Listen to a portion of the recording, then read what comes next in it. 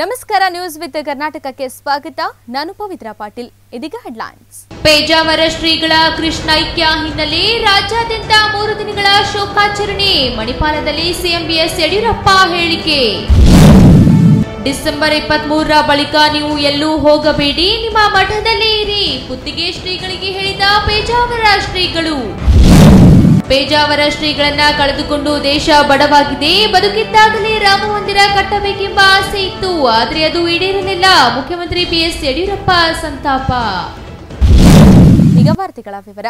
ಬಾಗಲಕೋಟೆ ಜಿಲ್ಲೆಯ ಜಮಖಂಡಿ ತಾಲೂಕಿನ ನಾಲ್ಕು ಹಳ್ಳಿಗಳಿಗೆ ಸಂಬಂಧಿಸಿದ ರಸ್ತೆ ತುಂಬಾ ಹದಗೆಟ್ಟು ಹೋಗಿದೆ. ಮೈಸೂರು ಮುತ್ತೂರು ರಸ್ತೆನ ಕಬ್ಬಿಣ ಟ್ರ್ಯಾಕ್ಟರ್ ಅನುಕೂಲಕ್ಕಾಗಿ ರೋಡನ್ನು ಆಗಿದ್ದು ನೆಲಸಮಗೊಳಿಸಿದ್ದಾರೆ. ರಸ್ತೆಯಲ್ಲಿನ ಕಲ್ಲುಗಳು ಮೇಲೆ ಬಂದಿವೆ. ಇದರಿಂದ ತೊಂದರೆ ಉಂಟಾಗುವುದು. ದ್ವಿಚಕ್ರ ವಾಹನ ಸವಾರರಿಗೆ ತೊಂದರೆ ಅನುಭವಿಸುವಂತಾಗಿದೆ. ವಾಹನ ಸವಾರರು ಸ್ವಲ್ಪ ಮೈಮರ್ತರೆ ಸಾಕು. ಅಪಘಾತವಾಗುವುದೊಂದು ಗ್ಯಾರಂಟಿಯಾಗಿ ಬಿಟ್ಟಿದೆ. ಇನ್ನಾದರೂ ಸಂಬಂಧಪಟ್ಟ ಅಧಿಕಾರಿಗಳು ಶೀಘ್ರಗತಿಯಲ್ಲಿ ದುರಸ್ತಿ ಕಾರ್ಯ ಮಾಡುತ್ತಾರೋ ಕಾತು ನೋಡಬೇಕಾಗಿದೆ.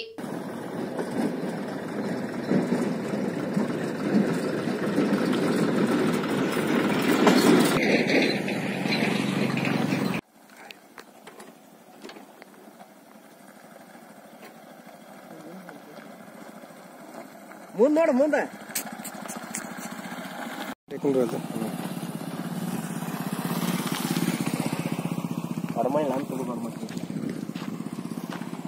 ದಂಡಿ ಬಾರಿಗೆ ಹಿಡಿಯಕ್ಕೆ.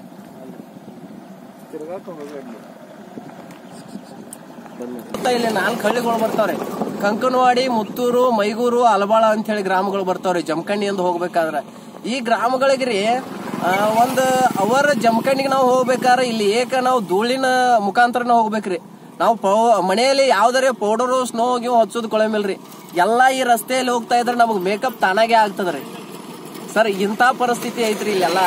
ಇಲ್ಲಿ ಆದ ಕಾರಣ ಇಲ್ಲಿ ಸ್ಥಳೀಯ ಎಂ ಎಲ್ ಎಗಳ್ರಿ, ಆನಂದ್ ನ್ಯಾಮಗೌಡ ಸಾಹೇಬ್ರು ಈ ರಸ್ತೆ ಬಗ್ಗೆ ಒಂದ್ ಸ್ವಲ್ಪ ಗಮನ ಹರಿಸ್ಬೇಕ್ರಿ. ಗಮನ ಹರಿಸಿ ಈ ರಸ್ತೆಯನ್ನ ಸುಧಾರಣೆ ಮಾಡ್ಬೇಕ್ರಿ. ಈ ರಸ್ತೆಗೆ ಎಷ್ಟು ಅನುದಾನಗಳನ್ನ ತಂದು ಕೆಲಸ ಕಾಮಗಾರಿಗಳನ್ನ ಪೂರ್ಣಗೊಂಡ್ರೆ ಒಂದು ರೈತರಿಗೆ ಮುಂದಿನ ಅನುಕೂಲ ಆಗ್ತೈತಿ ಅವ್ರ ಮೇಲೆ ಕಾಳಜಿ ಹತ್ತಾಗ್ತೈತಿ ಅಂತ ಈ ಮೂಲಕ ತಮ್ಮಲ್ಲಿ ವಿನಂತಿಸ್ಕೊಳ್ತೇನೆ. ಸರ್ ಇದ್ರ ಬಗ್ಗೆ ನೀವು ಕೊನೆಯದಾಗಿ ಯಾರ ಹತ್ರ ರಿಕ್ವೆಸ್ಟ್ ಮಾಡ್ಕೊತೀರಿ? ಸರ್ ನಾ ಈಗ ತದಕ್ಷಣ ಹೇಳ್ಬೇಕಂತಂದ್ರ ರೀ ಇಡೀ ಗ್ರಾಮಸ್ಥರಿಗೆ ನಾಲ್ಕು ಹಳ್ಳಿ ಗ್ರಾಮಸ್ಥರಿಗೆ ತುಂಬಾ ತೊಂದರೆ ಐತ್ರಿ. ಸ್ಕೂಲ್ ವ್ಯಾನ್ ಕಾಲೇಜ್ ಮಕ್ಕಳು ಎಲ್ಲಾ ಹೋಗ್ತಾರ್ರಿ. ಸುತ್ತಮುತ್ತ ರೈತರು ಹೆಣ್ಮಕ್ಳು ಆಜು ಬಾಜು ಊರಕ್ಕ ಹೋಗುವಂತ ಸಮಸ್ಯೆಗಳದಾವ್ರಿ ಮತ್ ಇಲ್ಲಿ ನಮಗ್ ಬಗೆಹರಿಸ್ಕೊಡ್ತಕ್ಕಂಥವ್ರು ಹೆಚ್ಚಿನ ವೆಹಿಕಲ್ ಬಂದು ರಸ್ತೆ ಹದಗೆಡ್ದು ಒಂದು ಸಾಯಿಪ್ರಿಯ ಸುಗರ್ಸ್ ಫ್ಯಾಕ್ಟ್ರಿ ಮಾಲೀಕರಾದಂತ ನಿರಾಣಿ ಸಾಹೇಬ್ರಿ ಮುರುಗೇಶ್ ನಿರಾಣಿ ಅವರು. ಒಂದು ಅವ್ರ ರೋಡ್ ಸರಿಪಡಿಸ್ಬೇಕ್ರಿ. ಅವರು ಈಗ ಬೆಳಗಿ ಕ್ಷೇತ್ರದ ಎಂ ಎಲ್ ಎ ಅದಾರ್ರಿ. ಅವ್ರೇನು ಬೇರೆ ಕ್ಷೇತ್ರಕ್ಕೆ ಬಂದು ಸುಧಾರಣೆ ಮಾಡಬಾರ್ದಂತ ಏನಿಲ್ಲಲ್ರಿ. ಅವರು ಮಾಡಿಕೊಡ್ಬೇಕ್ರಿ. ಬಿಟ್ಟಂದ್ರೆ ತಮ್ಮ ನಮ್ಮ ಸ್ಥ- ಸ್ಥಳೀಯ ಶಾಸಕರದಾರ್ರಿ ಆನಂದ್ ಸಿದ್ದು ನ್ಯಾಮಗೌಡ್ರಿ. ಅವ್ರ ಬಗೆಹರಿಸ್ಕೊಡ್ಬೇಕ್ರಿ. ಈ ಮೂಲಕ ಕೇಳ್ತೀನಿ ರೀ ಸಾಹೇಬ್ರ ನಾನು. ಈ ರಸ್ತೆನ ಬೇಗನೆ ತಕ್ಷಣ ಒಂದು ಸರಿಯಾದ ರೂಪಕ್ಕೆ ತರಬೇಕಂತ ಈ ಮೂಲಕ ಕೇಳ್ಕೊತೀನಿ. ಸರ್ ಈ ದ್ವಿಚಕ್ರ ವಾಹನದವ್ರು ಇದ್ರಾಗ ಯಾರೇ ಬಿದ್ರೆ ಯಾರು ಹೊಣೆಗಾರತ್ತೀರಿ ಸರ್ ಈ ದ್ವಿಚಕ್ರ ವಾಹನದಲ್ಲಿ ಯಾರಾದ್ರೂ ಬಿದ್ದು ತೊಂದರೆಗಳಾಗಿ ಸಾವು ನೋವುಗಳಾದ್ರೆ ಅದಕ್ಕೆ ನಮ್ಮ ರಾಜ್ಯ ಸರ್ಕಾರ ಕಾರಣ ಆಗ್ತೈತಿ ಮತ್ತೆ ನಮ್ಮ ಸ್ಥಳೀಯ ಶಾಸಕರ ಕಾರಣ ಆಗ್ತಾರ ಮತ್ತೆ ನಮ್ಮ ಶುಗರ್ ಫ್ಯಾಕ್ಟ್ರಿ ಮಾಲೀಕರ ಕಾರಣ ಆಗ್ತಾರ ಅಂತ ಹೇಳ್ತೀನಿ ಸರ್. ಎನ್ಆರ್ಸಿ ಮತ್ತು ಸಿಎ ಕಾನೂನನ್ನ ವಿರೋಧಿಸಿ ಜಮಖಂಡಿಯಲ್ಲಿ ಅಂಜುಮನ್ ಎ ಇಸ್ಲಾಂ ನೇತೃತ್ವದಲ್ಲಿ ಬೃಹತ್ ಪ್ರತಿಭಟನೆ ರ್ಯಾಲಿ ನಡೆಸಲಾಯಿತು. ರ್ಯಾಲಿಯಲ್ಲಿ ಪ್ರಜಾ ಪರಿವರ್ತನೆ ವೇದಿಕೆ ಹಾಗೂ ಸಾವಿರಾರು ಜನ ಪಾಲ್ಗೊಂಡಿದ್ದರು. ಪ್ರತಿಭಟನೆಯಲ್ಲಿ ಶಾಲಂಗೇಟ್ನಿಂದ ಹೊರಟ ಪ್ರತಿಭಟನೆ ಹನುಮಾನ್ ಚೌಕ್ದಿಂದ ದೇಸಾಯಿ ವೃತ್ತದವರೆಗೆ ಕಾಲ್ನಡಿಗೆಯಲ್ಲಿ ಜರುಗಿತು. ನಂತರ ಉಪವಿಭಾಧಿಕಾರಿ ಸಿದ್ದು ಹುಲ್ಲೋಳಿ ಇವರ ಮೂಲಕ ರಾಷ್ಟ್ರಪತಿಗಳಿಗೆ ಮನವಿ ಸಲ್ಲಿಸಿದರು. ಪ್ರತಿಭಟನೆಯನ್ನ ಉದ್ದೇಶಿಸಿ ಮಾಜಿ ಜವಳಿ ಖಾತೆಯ ಉಪಾಧ್ಯಕ್ಷರಾದ ನಜೀರ್ ಕಂಗುನೊಳ್ಳಿ ಮಾತನಾಡಿದರು.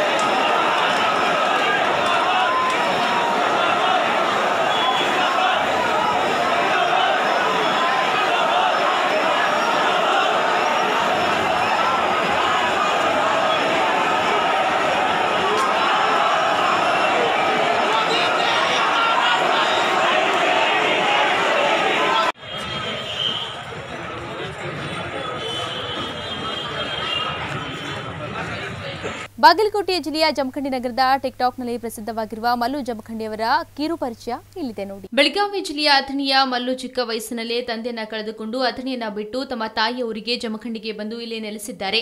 ಇವರು ಸಂಸಾರದ ಪೂರ್ತಿ ಜವಾಬ್ದಾರಿಯನ್ನ ಹೊತ್ತಿದ್ದಾರೆ. ಜನರನ್ನ ನಗಿಸೋದರಲ್ಲಿ ಇಷ್ಟು ಪ್ರಸಿದ್ಧಿಯಾದರೂ ಕೂಡ ತಮ್ಮ ಉದ್ಯೋಗವನ್ನ ಬಿಡದೆ ಕಾಯಕವೇ ಕೈಲಾಸ ಎಂದು ನಡೆಸುತ್ತಿದ್ದಾರೆ. ಹೇರ್ ಸಲೂನ್ ಅಂಗಡಿಯಿಂದ ಇವರ ಸಂಸಾರ ಸಾಗುತ್ತಿದೆ. ಈಗ ಈ ಪ್ರತಿಭೆ ಸಿನಿಮಾ ರಂಗದಲ್ಲಿ ಕೂಡ ಅವಕಾಶ ಸಿಕ್ಕಿದೆ. ಈಗಾಗಲೇ ಇವರು ಎರಡು ಸಿನಿಮಾ ಮಾಡಿದ್ದಾರೆ. ನಮ್ಮ ಉತ್ತರ ಕರ್ನಾಟಕ ಪ್ರತಿಭೆಗೂ ಇನ್ನು ಹೆಚ್ಚಿನ ಅವಕಾಶ ಸಿಕ್ಕು ಇನ್ನು ಉನ್ನತ ಸ್ಥಾನಕ್ಕೆ ಹೋಗಬೇಕೆಂದು ಅವರ ಸ್ನೇಹಿತರು ಅಭಿಮಾನಿಗಳ ಆಶೆಯಾಗಿದೆ. ಅವಕಾಶ ಮಾಡಿಕೊಟ್ಟರು ನಮ್ಮ ಶಿವ ಜನಪಲ್ಲಿ ಅವರು. ನಮ್ಮ A B cinema creations Anand Gangoudar ಬ್ಯಾನರ್ದಲ್ಲಿ ಇದು ಮೂರನೇ ಸಿನಿಮಾ ಸರ್ ನಾವು ಮಾಡಿಸ್ತೀವಿ ಭಾಳ ಖುಷಿ ಅನಿಸ್ತೈತಿ. ಅದೇ ರೀತಿ ಎಲ್ಲ ಥರ ಈಗ ನಿಮ್ಗೆ ಗೊತ್ತಿದೆ ಸರ್ ಈಗ ಕರ್ನಾಟಕದಲ್ಲಿ ಹುಡುಗಿ ಹುಡುಗಿ ಸಾಂಗ್ ತುಂಬ ಹಾಂ ಫೇಮಸ್ ಆಗೈತೆ ಸರ್. ಅತಿ ಶೀಘ್ರದಲ್ಲಿ ನಮ್ಮ ಸಿನಿಮಾನು ಫೆಬ್ರವರಿಯಲ್ಲಿ ಸಿನಿಮಾ ರಿಲೀಸ್ ಮಾಡಬೇಕಂತ ಪ್ಲ್ಯಾನ್ ಮಾಡ್ಕೊಂಡಿದ್ವಿ. ನಂತರ ನಮ್ಮ ಟೀಮ್ದವರು ಎಲ್ಲ ಪ್ಲ್ಯಾನ್ ಮಾಡ್ಕೊಂಡು ನಿಮ್ಗೆ ಆದಷ್ಟು ಬೇಗ ಅದರ ಡೇಟ ನಾವು ಹೇಳ್ತೀವಿ ಸರ್ ಆಮೇಲೆ ನಿಮ್ಮ ಬಿ ಬಿ ಎನ್ ಚಾನಲ್ದವ್ರಿಗೆ ನಾವು ಹೃದಯಪೂರ್ವಕ ನಮ್ಮ ಚಿತ್ರತಂಡದಿಂದ ನಾವು ಧನ್ಯವಾದಗಳನ್ನು ಹೇಳ್ತೀವಿ ಸರ್. ಸರ್, ಈಗ ನಿಮ್ಮ ಅಭಿಮಾನಿಗಳಿಗಾಗಲಿ, ನಿಮ್ಮ ಶಿವ ಮಾಧ್ಯಮ ಮುಖಾಂತರ? ನಿಜ ಸರ್ ಯಾ- ಅವ್ರ ಬಗ್ಗೆ ನಾವು ಏನು ಹೇಳ್ಬೇಕು ಅನ್ನೋದು ಕಡಿಮೆ. ಯಾಕಂದ್ರೆ ಪ್ರತಿಯೊಂದು ನಮ್ಮ ಉತ್ತರ ಕರ್ನಾಟಕ ಹೊಸ ಪ್ರತಿಭೆಗಳಿಗೆ ಒಂದು ಅವಕಾಶ ಮಾಡಿಕೊಟ್ಟಾರೆ. ಸುಮಾರು ಮೂರು ಸಿನಿಮಾದಲ್ಲಿ ಅವರು ಎಲ್ಲ ಹೊಸ ಹೊಸ ಹಿರಿಯ ನಟರ ಜೊತೆ ಹೊಸ ನಮ್ಮಂಥ ಪ್ರತಿಭೆಗಳನ್ನು ಹೊರಗಾಕತ್ತಾರೆ ನಮಗೂ ಒಂದು ಖುಷಿ. ಇದೇ ರೀತಿ ಇನ್ನೂ ಕಲಾವಿದರು ಬೆಳೀಲಿ ಅನ್ನೋದು ನಮ್ಮ ಆಶೆ ಸರ್. ನಿಮ್ಮ ಹೆಸರು ಸರ್? ನಮ್ಮ ಹೆಸರು ಶಂಕರ್ ಅಂಬಿಗೇರ್ ಅಂತ ಹೇಳಿ ಸರ್.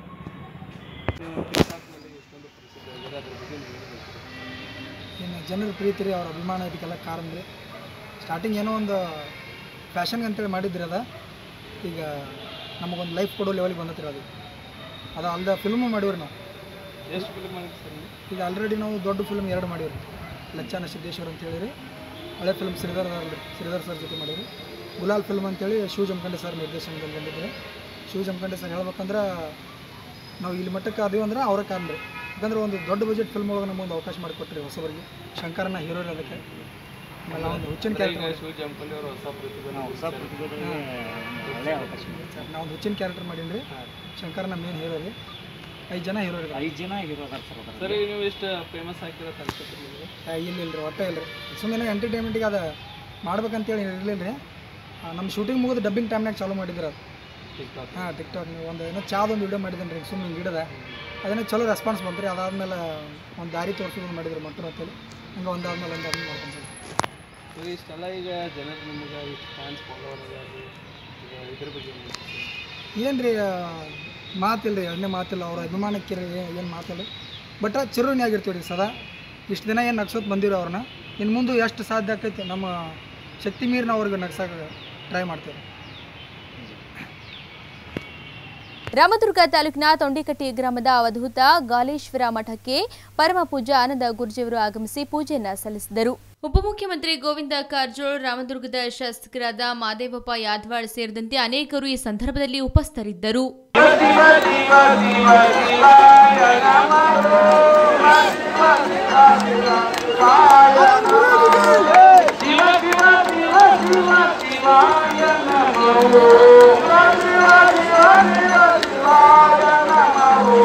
ಶಿವ ಶಿವ ಶಿವ ಶಿವಾಯ ನಮಃ नहीं संत नहीं ये गाने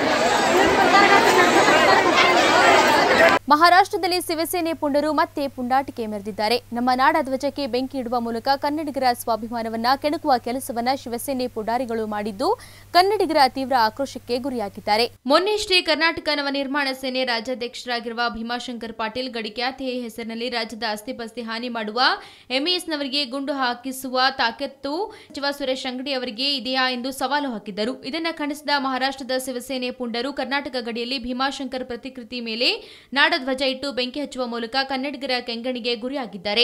ಈ ವೇಳೆ ಮಾತನಾಡಿರುವ ಶಿವಸೇನೆಯ ಮುಖಂಡರೋರ್ವ, ನಾವು ಮಹಾರಾಷ್ಟ್ರದಿಂದ ಕರ್ನಾಟಕ ಗಡಿಗೆ ಬಂದಿದ್ದೇವೆ. ನಿಮಗೆ ತಾಕತ್ತಿದ್ರೆ ಇಲ್ಲಿಗೆ ಆಗಮಿಸಿ ಶಿವಸೇನೆ ಕಾರ್ಯಕರ್ತರಿಗೆ ಗುಂಡು ಹಾಕಿ ಎಂದು ಸವಾಲು ಹಾಕುವ ಮೂಲಕ ಕನ್ನಡಿಗರ ಕೆಂಗಣಿಗೆ ಗುರಿಯಾಗಿದ್ದಾರೆ. ಇನ್ನು ಗಡಿಯಲ್ಲಿ ಯಾವುದೇ ರೀತಿಯ ಅಹಿತಕರ ಘಟನೆ ಸಂಭವಿಸದಂತೆ ಪೊಲೀಸ್ ಇಲಾಖೆ ಎಚ್ಚೆತ್ತುಕೊಂಡಿದೆ. ರಾಷ್ಟ್ರೀಯ ಹೆದ್ದಾರಿ ನಾಲ್ಕರ ನಿಪ್ಪಾಣಿ ತಾಲೂಕಿನ ಕೊಗನಹಳ್ಳಿ ಟೋಲ್ ನಾಕಾ ಬಳಿ ಬಿಗಿ ಪೊಲೀಸ್ ಬಂದೋಬಸ್ತ್ ನಿಯೋಜಿಸಲಾಗಿದೆ. ಪಿಎಸ್ಐ ಸಂತೋಷ್ ನಾಯಕ್, ಕುಮಾರ್ ಹಾಡ್ಕರ್ ನೇತೃತ್ವದಲ್ಲಿ ವ್ಯಾನ್ಗಳು ಮತ್ತು ತುಕುಡಿ ಐವತ್ತಕ್ಕೂ ಹೆಚ್ಚು ಪೊಲೀಸ್ ಸಿಬ್ಬಂದಿಗಳನ್ನು ನಿಯೋಜಿಸಲಾಗಿದೆ.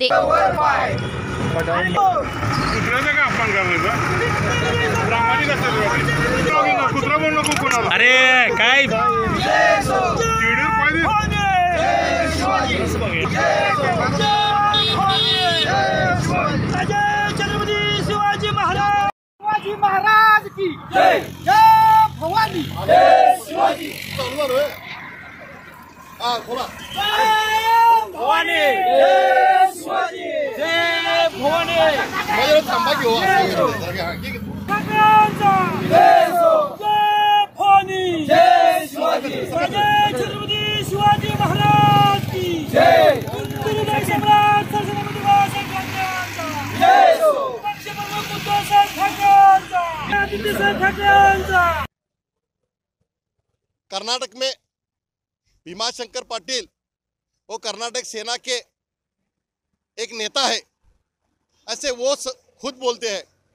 उन्होंने दो दिन के पहले एक स्टेटमेंट किया था कि उसमें उन्होंने कहा था कि एमएस के जो लोग हैं, जो हमारा ऑर्गेनाइजेशन है एमएस के जो लोग हैं, उन पे हम गोली डालेंगे।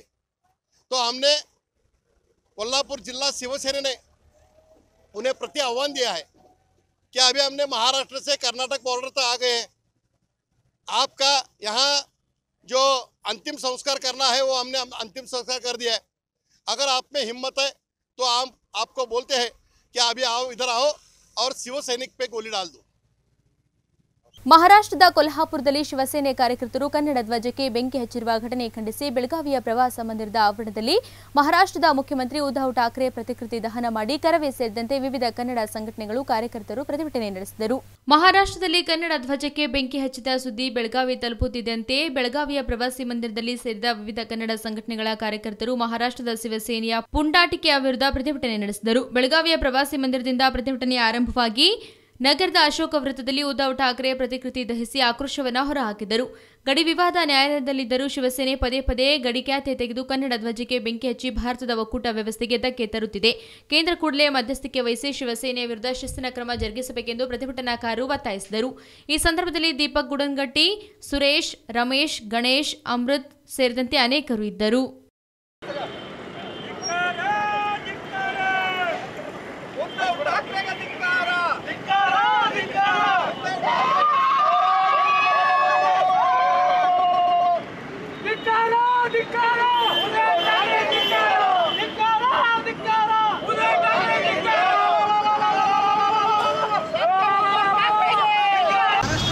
ಏನು ಈ ಶಿವಸೇನೆಯ ಹುಚ್ಚಾಟವನ್ನ ಕನ್ನಡಿಗರು ಸಹಿಸುವುದಿಲ್ಲ.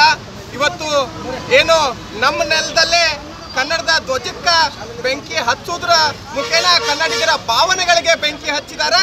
ಅದಕ್ಕೆ ಇವತ್ತು ಮಾನ್ಯ ಕೇಂದ್ರ ಸರ್ಕಾರ ತಕ್ಷಣವೇ ಮಧ್ಯಸ್ಥಿಕೆಯನ್ನು ವಹಿಸಿ ಏನು ಕನ್ನಡಿಗರು ಮತ್ತು ಕರ್ನಾಟಕವನ್ನ ಪದೇ ಪದೇ ಕೆಣಕಿ ಬರುವಂತ ಒಬ್ಬ ಸಂಘಟನೆಯ ಒಂದು ಅಧಿಕಾರ ವಹಿಸಿಕೊಂಡು ಮುಖ್ಯಮಂತ್ರಿ ಇರುವಂತಹ ಉದ್ದ- ಉದ್ದಟತನದ ಹೇಳಿಕೆ ಕೊಡುವಂತ ಉದ್ಧವ್ ಠಾಕ್ರೆ ಮೇಲೆ ಒಂದು ಕ್ರಮವನ್ನು ತಗೊಳ್ಬೇಕು. ಮತ್ತು ಇನ್ನೊಂದು ಮೈತ್ರಿ ಸರ್ಕಾರ, ಮೈತ್ರಿ ಪಕ್ಷವಾಗಿರುವಂತ ಕಾಂಗ್ರೆಸ್ಗೂ ಕೂಡ ನಾವು ಇವತ್ತು ಎಚ್ಚರಿಕೆಯನ್ನ ಕೊಡ್ತಾ ಇದೀವಿ. ತಕ್ಷಣವೇ ನೀವು ದೋಸ್ತಿಯನ್ನ ಮುರ್ಕೋಬೇಕು. ಇಲ್ಲ ಅಂದ್ರೆ ಇದೇ ತರನಾಗಿ ಉದ್ಧವ್ ಠಾಕ್ರೆ ಮುಂದುವರಿಸಿದ್ರೆ ಕಾಂಗ್ರೆಸ್ ವಿರುದ್ಧ ಕರ್ನಾಟಕದಲ್ಲಿ ಹೋರಾಟ ಪ್ರಾರಂಭ ಆಗ್ತದೆ. ಕಾಂಗ್ರೆಸ್ಗೂ ಕೂಡ ನಾಡ ದ್ರೋಹ ಪಟ್ಟವನ್ನ ನಾವು ಕಟ್ಟಬೇಕಾಗತ್ತೆ ಯಾವುದೇ ಕಾರಣಕ್ಕೆ ನಮ್ಮ ಸರ್ಕಾರ ಯಾಕೆ ಸುಮ್ಮನೆ ಕೂತ್ಕೊಂಡಿದೆ ಅನ್ನೋದು ಗೊತ್ತಾಗ್ತಾ ಇಲ್ಲ. ಮಾನ್ಯ ಮುಖ್ಯಮಂತ್ರಿಗಳು ನಾಡು ನುಡಿ ವಿಷಯ ಸಂಬಂಧಪಟ್ಟಾಗ ಕರ್ನಾಟಕ ವಿಚಾರವಾಗಿ ಇಲ್ಲಿಯ ಜನಪ್ರತಿನಿಧಿಗಳು ಧ್ವನಿ ಎತ್ತಬೇಕು. ಇನ್ನೂ ಅದು ಯಾರೊಬ್ರು ಎತ್ತಾ ಇಲ್ಲ, ಅದು ನಮ್ಗೆ ನೋವು ತರ್ತಾ ಇದೆ. ಅದಕ್ಕೆ ಈ ದೊಡ್ಡ ಪರಿಸ್ಥಿತಿ, ಹೋರಾಟ ದೊಡ್ಡ ಮಟ್ಟಕ್ಕೆ ಹೋಗ್ಬೇಕು, ಹೋಗ್ಬೇಕಾಗತ್ತೆ. ಬೆಳಗಾವಿಯ ಕಾನೂನು ಸುವ್ಯವಸ್ಥೆಗೆ ಧಕ್ಕೆ ಆದ್ರೆ ಇಲ್ಲಿಯ ರಾಜ್ಯ ಸರ್ಕಾರ ಹೊಣೆ ಆಗುತ್ತೆ. ಅದಕ್ಕೆ ಭಾರತದ ಒಕ್ಕೂಟದ ವ್ಯವಸ್ಥೆಗೂ ಧಕ್ಕೆ ಬರಬಾರ್ದು ಅಂದ್ರೆ ತಕ್ಷಣವೇ ಕೇಂದ್ರ ಸರ್ಕಾರ ಮಧ್ಯಸ್ಥಿಕೆ ವಹಿಸಿ ಉದ್ಧವ್ ಠಾಕ್ರೆ ಮೇಲೆ ಕ್ರಮವನ್ನು ತಗೊಳ್ಬೇಕು ಅಂತ ನಾನು ಈ ಸಂದರ್ಭದಲ್ಲಿ ಒತ್ತಾಯನ ಮಾಡ್ತಾ ಇದ್ದೀನಿ. ಉದ್ಧವ್ ಠಾಕ್ರೆ ಅವರಿಗೆ ತೀವ್ರ ಉಸಿರಾಟದ ತೊಂದರೆಯಿಂದ ಬಳಲುತ್ತಿದ್ದ ಪೇಜಾವರ ಮಠದ ಹಿರಿಯ ಯತಿಗಳಾದ ವಿಶ್ವೇಶ್ವರ ತೀರ್ಥ ಸ್ವಾಮೀಜಿಯವರ ನಿಧನ ಹಿನ್ನೆಲೆಯಲ್ಲಿ ರಾಜ್ಯಾದ್ಯಂತ ಮೂರು ದಿನಗಳ ಶೋಕಾಚರಣೆ ಘೋಷಿಸಲಾಗಿದೆ. ಮಣಿಪಾಲದಲ್ಲಿ ಮಾಧ್ಯಮ ಪ್ರತಿನಿಧಿಗಳೊಂದಿಗೆ ಮಾತನಾಡಿದ ಸಿಎಂ ಯಡಿಯೂರಪ್ಪ ಬೆಂಗಳೂರಿನಲ್ಲಿ ಸಕಲ ಸರ್ಕಾರಿ ಗೌರವಗಳೊಂದಿಗೆ ಅಂತ್ಯ ಸಂಸ್ಕಾರ ಮಾಡಲಾಗುವುದು ಎಂದರು. ಉಡುಪಿಯ ಅಜ್ಜರಕಾಡು ಮೈದಾನದಲ್ಲಿ ಸಾರ್ವಜನಿಕರ ಅಂತಿಮ ದರ್ಶನಕ್ಕೆ ವ್ಯವಸ್ಥೆ ಮಾಡಲಾಗಿತ್ತು. ಸ್ವಾಮೀಜಿ ಆಶಯದಂತೆ ಬೆಂಗಳೂರಿನ ವಿದ್ಯಾಪೀಠದ ಬೃಂದಾವನ ನಿರ್ಮಿಸಲಾಗಿದೆ ಎಂದರು. ಸುಮಾರು ಎರಡು ಗಂಟೆ ಮೇಲೆ ಒಂದು ಗಂಟೆ ಒಂದು ಗಂಟೆ ಮೇಲೆ ವಿಶೇಷ ವಿಮಾನ ಹೆಲಿಕಾಪ್ಟರ್ಲಿ ಬೆಂಗಳೂರಿಗೆ ಅವರು ಪಾರ್ಥಿವ ಶರೀರ ತಗೊಂಡು ಹೋಗ್ತಾರೆ. ಅವರ ಅಪೇಕ್ಷೆ ಅಂತಲೇ ಬೆಂಗಳೂರಲ್ಲಿ ನಾಲ್ಕೂವರೆ ಐದು ಗಂಟೆ ಒಳಗಾಗಿ ಎಲ್ಲ ಅಂತ್ಯ ಸಂಸ್ಕಾರಗಳು ಅಲ್ಲಿ ಮುಗಿಯೋದಿದೆ. ಪ್ರಧಾನಮಂತ್ರಿ ಮಾತಾಡಿ ಈಗ ತಾನೇ ಪ್ರಧಾನಿ ನರೇಂದ್ರ ಮೋದಿಯವರು ಸಹ ಎರಡು ನಿಮಿಷ ಹಿಂದೆ ಎಲ್ಲ ವಿಚಾರಗಳನ್ನು ತಿಳ್ಕೊಂಡು ಏನೇನು ನಡೀತಾ ಇದೆ, ಎಲ್ಲ ಸಂಗತಿಗಳನ್ನು.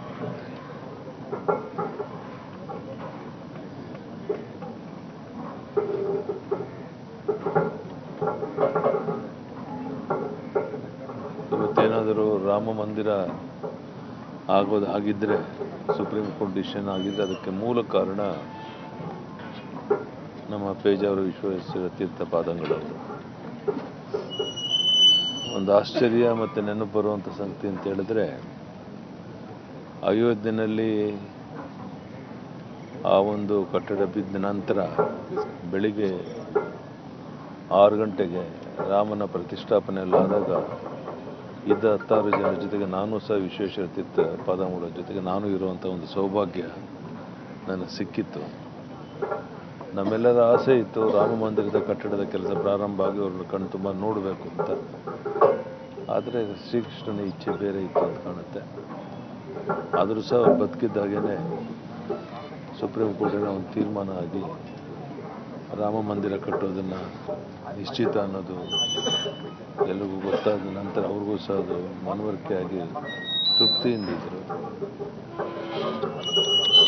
ಬಹುಶಃ ಈ ದೇಶದಲ್ಲಿ ಇಷ್ಟೊಂದು ವಾಹನದಲ್ಲಿ ರಾಜ್ಯದ ಉದ್ದಗಳಿಗೆ ಪ್ರವಾಸ ಮಾಡಿದಂತ ಪೇಜಾವರ ಶ್ರೀಗಳಿಗೆ ತಮ್ಮ ಇಹಲೋಕ ಯಾತ್ರೆಯ ಅಂತ್ಯದ ಬಗ್ಗೆ ಸೂಚನೆ ಸಿಕ್ಕಿತ, ಈ ಬಗ್ಗೆ ಪ್ರಶ್ನೆಯೊಂದು ಪುತ್ತಿಗೆ ಮಠದ ಸುಗುಣೇಂದ್ರ ತೀರ್ಥರನ್ನ ಕಾಡ್ತಿದೆ. ಇದಕ್ಕೆ ಕಾರಣ ಪೇಜಾವರ ಶ್ರೀಗಳು ಕೊನೆಯ ಸಲ ಶ್ರೀಗಳಿಗೆ ಸಿಕ್ಕಾಗ ಹೇಳಿದ ಮಾತು ಏನದು? ಇಲ್ಲಿದೆ ನೋಡಿ. ಸದಾ ಚಟುವಟಿಕೆಯಿಂದಲೇ ಇರುತ್ತಿದ್ದ ಪೇಜಾವರ ಶ್ರೀಗಳು ಅಷ್ಟಮಠದಲ್ಲಿ ಒಂದಾದ ಪುತ್ತಿಗೆ ಮಠದ ಸುಗುಣೇಂದ್ರ ತೀರ್ಥರನ್ನ ಮಂತ್ರಾಲಯದಲ್ಲಿ ಭೇಟಿಯಾಗಿದ್ದರಂತೆ. ಆಗ ಪೇಜಾವರ ಶ್ರೀಗಳು ಸುಗುಣೇಂದ್ರ ತೀರ್ಥರನ್ನ ಕುರಿತಾಗಿ ಡಿಸೆಂಬರ್ ಇಪ್ಪತ್ಮೂರಕ್ಕೆ ನೀವು ಸಿಗಬೇಕು. ವಿದೇಶಕ್ಕೆ ಹೋಗುವ ಕಾರ್ಯಕ್ರಮ ಇಲ್ಲವಲ್ಲ ಎಂದು ವಿಚಾರಿಸಿದ್ದರಂತೆ. ಅಷ್ಟೇಲ್ಲದೆ ಎರಡೆರಡು ಸಲ ನೀವೆಲ್ಲೂ ಹೋಗೋದಿಲ್ಲ ಅಲ್ಲವಾ, ಊರಲ್ಲಿ ಇರುತ್ತಿರಲ್ಲವಾ ಅಂತ ಖಾತರಿಪಡಿಸಿಕೊಂಡಿದ್ದರಂತೆ. ಯಾವತ್ತೂ ಹಾಗೆ ಕೇಳದವರು ಅವತ್ತು ಯಾಕೆ ಕೇಳಿದರು ಎನ್ನುವುದು ಗೊತ್ತಾಗಲಿಲ್ಲ. ಆದರೆ ಈಗ ನೆನಪಿಸಿಕೊಂಡರೆ ಶ್ರೀಗಳಿಗೆ ಮುನ್ಸೂಚನೆ ಇತ್ತ ಎಂದು ಅನಿಸುತ್ತದೆ ಎಂದು ಸುಗುಣೇಂದ್ರ ತೀರ್ಥರು ಹೇಳಿದ್ದಾರೆ. ಪೇಜಾವರ ಶ್ರೀಗಳನ್ನ ಕಳೆದುಕೊಂಡ ಈ ದೇಶ ರಾಜ್ಯ ಬಡವವಾಗಿದೆ ಎಂದು ಸಿಎಂ ಬಿಎಸ್ ಯಡಿಯೂರಪ್ಪ ಸಂತಾಪ ಸೂಚಿಸಿದ್ದಾರೆ. ಸುದ್ದಿಗಾರರ ಜೊತೆ ಮಾತನಾಡಿದ ಮುಖ್ಯಮಂತ್ರಿ ಬಿಎಸ್ ಯಡಿಯೂರಪ್ಪ, ಪೇಜಾವರ ಶ್ರೀಗಳಂತಹ ಯತಿಯವರನ್ನ ಕಾಣುವುದು ಅಪರೂಪ. ಮಹಾನ್ ಪೂಜ್ಯರನ್ನ ಕಳೆದುಕೊಂಡ ಈ ದೇಶ ರಾಜ್ಯ ಬಡವವಾಗಿದೆ. ಆದರೆ ಬದುಕಿದ್ದಾಗಲೇ ರಾಮ ಮಂದಿರ ಕಟ್ಟಿಸಬೇಕೆಂಬ ಆಸೆ ಅವರಿಗಿತ್ತು. ಅವರ ಆಸೆಯಂತೆ ರಾಮಮಂದಿರ ಕಟ್ಟುವಂತೆ ಸುಪ್ರೀಂ ಕೋರ್ಟ್ನಲ್ಲಿ ತೀರ್ಮಾನಿಸಲಾಯಿತು. ಆದರೆ ಅದನ್ನು ನೋಡುವ ಸೌಭಾಗ್ಯ ಅವರಿಗೆ ಸಿಗಲಿಲ್ಲ ಎಂದು ಬೇಸರ ವ್ಯಕ್ತಪಡಿಸಿದ್ದಾರೆ. ವರ್ಷಗಳಿಂದ ಎಲ್ಲ ಸಂದರ್ಭದಲ್ಲೂ ಬಂದು ಅವ್ರ ಜೊತೆ ಮಾತನಾಡಿ ಅವರ ಆಶೀರ್ವಾದ ಪಡೆದು ಹೋಗ್ತಾ ಇದ್ದೆ. ಒಂದು ತಿಂಗಳಿಂದ ಅವರ ಮಠಕ್ಕೆ ಬೆಂಗಳೂರಲ್ಲಿ ಕರೆಸ್ಕೊಂಡು ಒಂದು ಗಂಟೆ ಕಾಲ ಚರ್ಚೆಗಳು ಮಾಡಿ, ಅವರೊಂದು ಮೆಡಿಕಲ್ ಕಾಲೇಜ್ ಕಟ್ತಾ ಇದ್ದಾರೆ. ಅದಕ್ಕೆ ಹತ್ತು ಕೋಟಿ ರೂಪಾಯಿ ಸ್ಥಳದಲ್ಲೇ ಮಂಜೂರು ಮಾಡಿಸಿ ಮಾತಾಡ್ಕೊಂಡು ಬಂದೆ. ಬಹಳ ಮುಖ್ಯವಾಗಿ ರಾಮ ಮಂದಿರ ಕಟ್ಟುವಂಥ ಸಂದರ್ಭದಲ್ಲಿ ಬೆಳಿಗ್ಗೆ ರಾಮನ ವಿಗ್ರಹವನ್ನು ಪ್ರತಿಷ್ಠಾಪನೆ ಮಾಡೋಕ್ಕೆ ಪೇಜಾವರ್ಷಿಗಳು ಹೋದಾಗ ಅವ್ರ ಜೊತೆಗಿದ್ದಂಥ ಹತ್ತೆರಡು ಜನದಲ್ಲಿ ನಾನು ಹೋಗ್ಬೋದು ಈಗ ನಿರಂತರ ಸಂಪರ್ಕ, ಬಹುಶಃ ನಮ್ಮ ದೇಶದ ಇತಿಹಾಸದಲ್ಲಿ ಈ ರೀತಿ ಒಬ್ಬ ಸ್ವಾಮೀಜಿಯವರು ದೇಶದ ಉದ್ದಗಳಿಗೆ ಪ್ರವಾಸ ಮಾಡಿ ನಿರಂತರ ವಾಹನಗಳಲ್ಲಿ ಪ್ರವಾಸ ಮಾಡುತ್ತಾ, ಬಹುಶಃ ಅವರು ಆಸ್ಪತ್ರೆ ಸೇರೋ ಹಿಂದಿನ ಎರಡು ದಿನವೂ ಸಹ ನಿರಂತರವಾಗಿ ಪ್ರವಾಸ ಮಾಡಿ ಮುಗಿಸ್ಕೊಂಡು ಬಂದು ನಂತರ ಆಸ್ಪತ್ರೆ ಸೇರಿದರು. ಬಹುಶಃ ಇಂಥ ಅಪರೂಪದ ಯತಿವರ್ಯರನ್ನು ಕಾಣೋದು ಕಷ್ಟ. ಅಂಥ ಮಹಾನ್ ಪೂಜ್ಯರನ್ನು ಕಳ್ಕೊಂಡು ಈ ದೇಶ, ಈ ರಾಜ್ಯ ಬಡವಾಗಿದೆ. ಬಹುಶಃ ಅವ್ರು ಬದುಕಿದ್ದಾಗಲೇ ರಾಮ ಮಂದಿರ ಕಟ್ಟೋದನ್ನು ಅವ್ರು ನೋಡಬೇಕು ಅಂತ ಅವರ ಆಸೆ ಇತ್ತು ಅಪೇಕ್ಷೆ ಇತ್ತು. ಅವರ ಆಸೆ ಅಂತಲೇ ರಾಮ ಮಂದಿರ ಕಟ್ಟುವಂಥ ತೀರ್ಮಾನವೂ ಆಯಿತು ಸುಪ್ರೀಂ ಕೋರ್ಟಿಂದ. ಆದರೆ ಅದನ್ನು ನೋಡುವಂಥ ಸೌಭಾಗ್ಯ ಸಿಗಲಿಲ್ಲ. ಕೇಂದ್ರದಿಂದ ಸರ್? ತಮ್ಮ ವೈಯಕ್ತಿಕವಾಗಿ ಸಲಹೆಗಳನ್ನ ಕೊಡ್ತಾ ಇದ್ರು. ನಿಮ್ಮಲ್ಲ ಎಲ್ಲ ಸಂದರ್ಭದಲ್ಲೂ ಇವರು ಒಂದು ಎರಡು ಮೂರು ಅಂತಲ್ಲ ಎಲ್ಲ ಸಂದರ್ಭದಲ್ಲೂ ಹೋಗಿ ನನಗೇನಾದರೂ ಸಮಸ್ಯೆಗಳು ಬಂದಾಗ ಅವ್ರ ಜೊತೆ ಹೋಗಿ ಚರ್ಚೆ ಮಾಡಿ ಅವರ ಸಲಹೆ ತಗೊಂಡು ಅದರಂತೆ ನಡ್ಕೊತಾ ಇದ್ದದ್ದು ಕಳೆದ ನಲವತ್ತೈವತ್ತು ವರ್ಷ. ಶಿವಸೇನಾ ಉದ್ಧಟತನದಿಂದ ಮುಂದುವರೆದ ಕನ್ನಡಿಗರಿಂದ ಆಕ್ರೋಶ. ಮಹಾರಾಷ್ಟ್ರದಲ್ಲಿ ಶಿವಸೇನಾ ಉದ್ಧಟತನ ಮರೆದಿರುವ ಹಿನ್ನೆಲೆಯಲ್ಲಿ ಮಹಾರಾಷ್ಟ್ರ ಹಾಗೂ ಕರ್ನಾಟಕದ ಗಡಿಯಲ್ಲಿ ಬಿಗುವಿನ ವಾತಾವರಣ ನಿರ್ಮಾಣವಾಗಿದೆ. ರಾಜ್ಯಗಳಲ್ಲೂ ಮುಖ್ಯಮಂತ್ರಿಗಳ ಪ್ರತಿಕೃತಿ ದಹನದ ಹಿನ್ನೆಲೆಯಲ್ಲಿ ಮುನ್ನೆಚ್ಚರಿಕೆ ಕ್ರಮವಾಗಿ ಕರ್ನಾಟಕ ಹಾಗೂ ಮಹಾರಾಷ್ಟ್ರ ರಾಜ್ಯಗಳ ಬಸ್ ಸಂಚಾರ ಸ್ಥಗಿತವಾಗಿದೆ. ಕಾಗವಾಡದಿಂದ ಮಹಾರಾಷ್ಟ್ರಕ್ಕೆ ಹೋಗಬೇಕಿದ್ದ ಬಸ್ಗಳನ್ನು ಬಸ್ ನಿಲ್ದಾಣದಲ್ಲಿ ನಿಲ್ಲಿಸಲಾಗಿದೆ. ಇದರಿಂದ ಎರಡು ರಾಜ್ಯದ ಪ್ರಯಾಣಿಕರು ಪರದಾಡುವ ಸ್ಥಿತಿ ಬಂದೊದಗಿದೆ. ಕಾಗವಾಡ ಗಡಿ ತಾಲೂಕು ಆದ್ದರಿಂದ ಕಾಗವಾಡ ಮತ್ತು ಮಹಾರಾಷ್ಟ್ರ ಗಡಿಯಲ್ಲಿ ಕಾಗವಾಡ ಸಹರದ್ದಿನಲ್ಲಿ, ಕನ್ನಡಿಗರು ಮತ್ತು ಮಹಾರಾಷ್ಟ್ರ ಸಹರದ್ದಿನಲ್ಲಿ ಮರಾಠಿಗರು ಜಮಾವಣೆಗೊಳ್ಳುತ್ತಿದ್ದಾರೆ. ಮರಾಠಿಗರು ಕನ್ನಡಿಗರನ್ನ ಕೆರಳಿಸುವ ಎಲ್ಲ ಪ್ರಯತ್ನಗಳನ್ನ ಮಾಡುತ್ತಿದ್ದಾರೆ ಎಂದು ತಿಳಿದು ಬಂದಿದೆ. ಇದರ ಮಧ್ಯೆ ಪೊಲೀಸ್ ಸರ್ಪಗಾವಲನ್ನ ಕರ್ನಾಟಕ ಪೊಲೀಸರು ನೇಮಿಸಿದ್ದಾರೆ. ಒಟ್ಟಿನಲ್ಲಿ ಗಡಿಯಲ್ಲಿ ಬೂದಿ ಮುಚ್ಚಿದ ಕೆಂಡವಾಗಿದೆ. ರಾಗಿತವತಿ ನ್ಯೂಸ್ ವಿತ್ ಕರ್ನಾಟಕ. ಹೀಗೆ ನೋಡ್ತಾ ಇರಿ.